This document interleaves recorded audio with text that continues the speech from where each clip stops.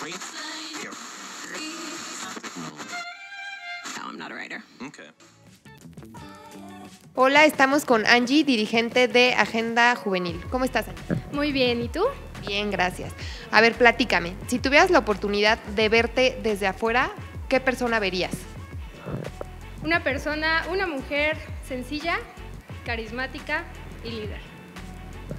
¿Cuáles son tus virtudes? Tengo muchas. Platícame.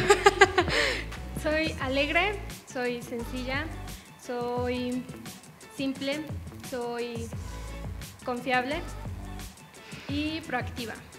¿Y tus defectos? También son muchos, pero voy a por mencionar algunos. Soy poco paciente, soy ansiosa y ¿cuál otro? Un poco enojona. Poquito nada más. ¿Qué haces por México? ¿Qué hago por México? Busco mi nicho, que es en donde me harían caso, que es el sector joven.